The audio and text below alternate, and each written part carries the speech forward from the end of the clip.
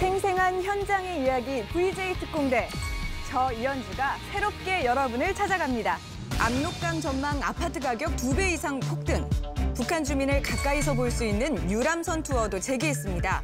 북한 접경지, 중국 단둥을 밀착 취재했습니다. 지금이 딱 제철이죠. 여름바다 향이 물씬 풍기는 밥상을 소개합니다. VJ 특공대 금요일 밤 10시 많은 시청 바랍니다.